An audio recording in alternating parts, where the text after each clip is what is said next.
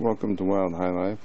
Today I'm going to go up in the campsite and cut down some trees, dead trees, and trim them up. I need to get the chainsaw ready. I'm going to sharpen up three chains. Got the chainsaw sharpener. First thing we're going to do is mix the oil with the gas. So I'll pop out this thing and dump it in the gas. So you just take this two cycle oil and put it into the gas.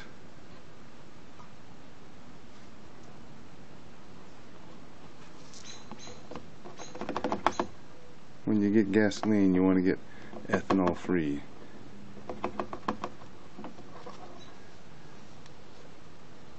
The ethanol and stuff has a tendency to make a varnish like deposit on the jets of the carburetor and it plugs them up.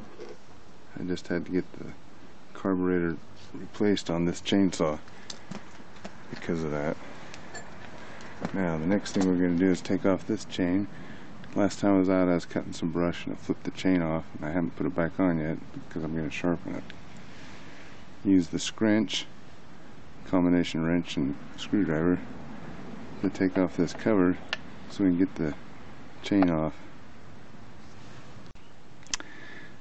Okay, now that the cover's off, you can see that the chain rests on this roller. That's what drives the chain. There's a little roller on the end of the bar. We'll take that chain off. Notice all the gunk. I'll clean that up.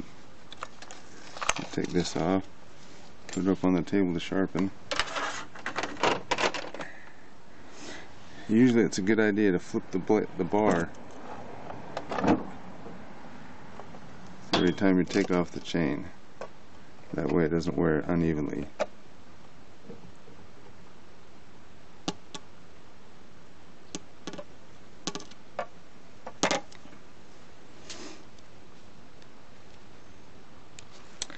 Now looking at these chains,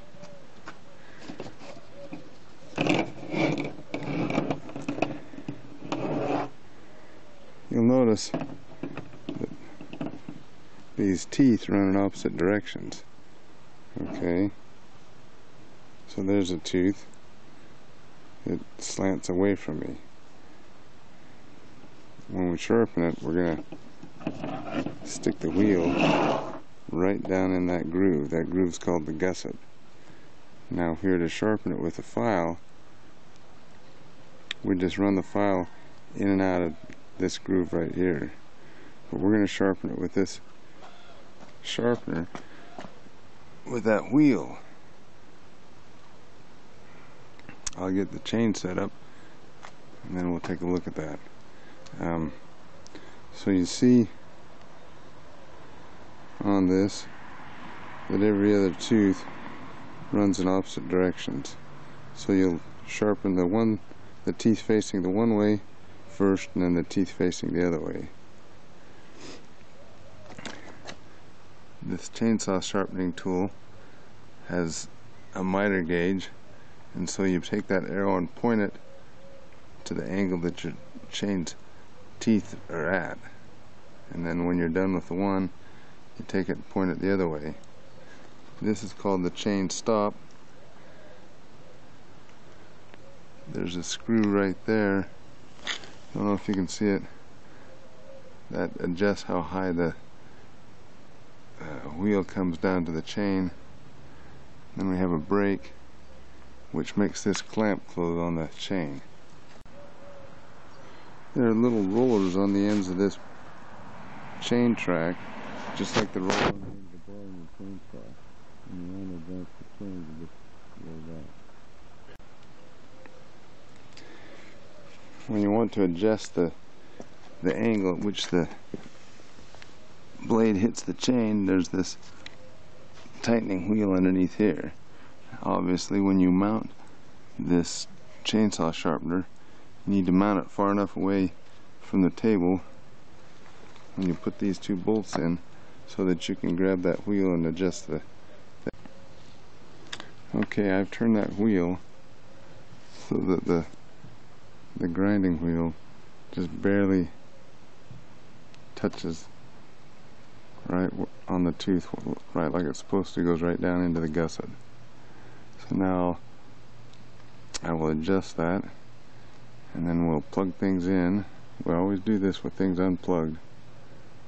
Plug things in and start sharpening.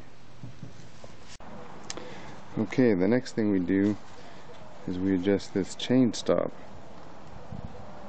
Okay, so that when we bring that grinding wheel down and push it down in the gullet to sharpen it, the chain doesn't move. To do that, we adjust this wheel so that the chain stop is up against the tooth that we want to sharpen. Once I get it in the right place, and I tighten down this locking nut. Okay, time to put on the safety glasses, plug it in. But before we plug it in, we have to adjust the wheel so it doesn't go down too deeply into the gullet. We do that by adjusting this stop screw right here. We turn that down until it hits this point right here, right there, so that it goes down just the right depth. And then once again, once we get it the right depth, we turn this lock screw to keep it in place. There's this lock nut. Okay, we're all set up, ready to go. We'll flip on the switch in the back.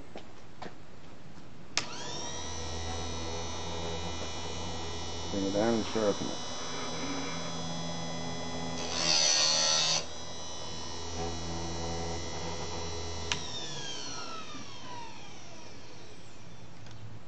Now we just roll it to the next tooth.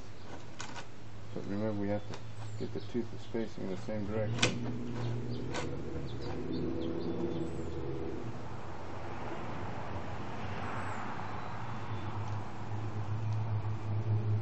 I got this chain a little bit too close to the table. It's binding a little bit. That's okay. Just have to help these rollers a little bit.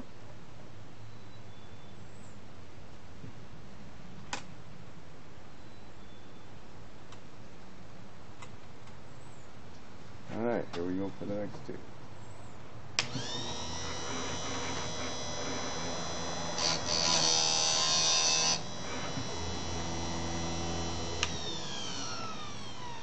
And so we just keep going until we get all the chains links facing the same one way and then we go back and do all the ones facing the other day.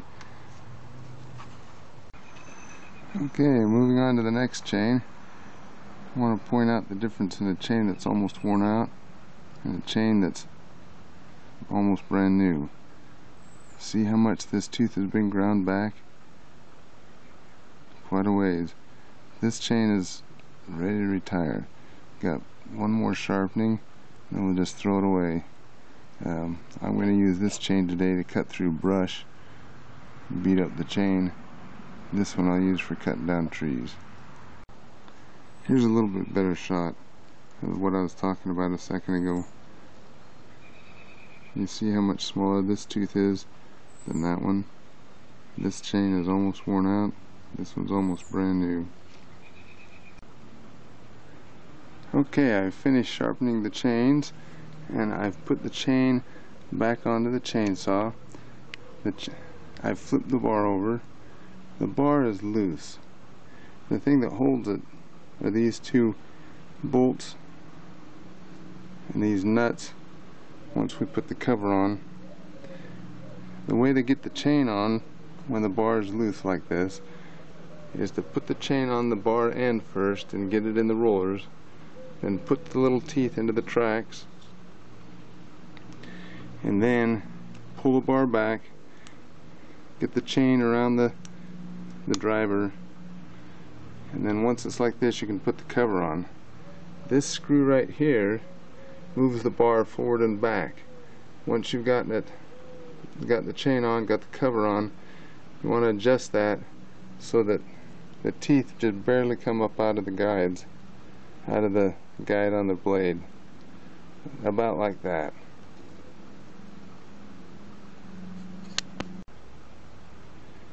Now I'm ready to put the cover on. Just set the cover on like this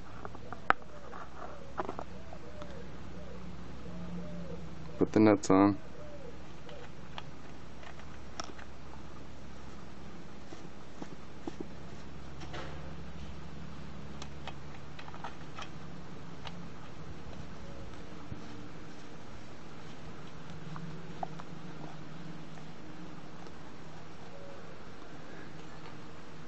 Tighten the nuts with the scrench.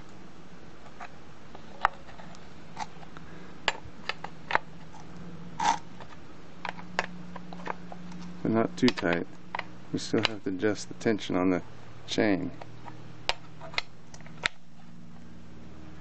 And we put the scrench down in here and gauge the screw. We turn it to tighten the chain or loosen the chain. It just moves the bar. Okay. I've adjusted the tension on the chain and tightened- snugged up those knots. So see those pieces just barely tighten up the come out of the guide. When you up the chainsaw, you run it. If too, too tight, loosen it up a little bit. After you get done adjusting the tension with this screw, then you snug up these bolts, or these nuts on these bolts, so the chain doesn't come off. Next thing we want to do is check the air filter. These usually get plugged up pretty good. You turn this, and this isn't a screw and it's kind of a, a lug. So you just switch it to the lug, but this is you can take this cover off.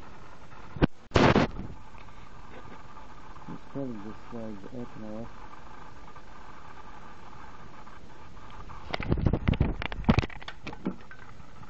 Here's the air filter. To. We'll clean that up.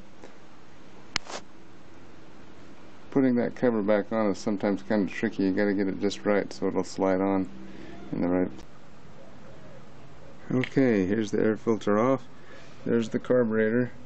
This air filter is pretty dirty, but I've seen a lot worse. Clean both sides of it. Clean the air intake. And we'll put it back. Okay, here's the air filter cleaned off, ready to go.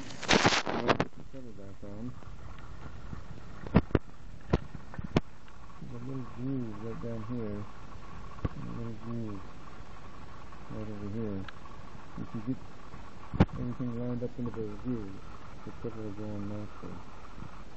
So put that right down there like. That right there. Just slide it on. Let me turn this so the cam engages. We're all set.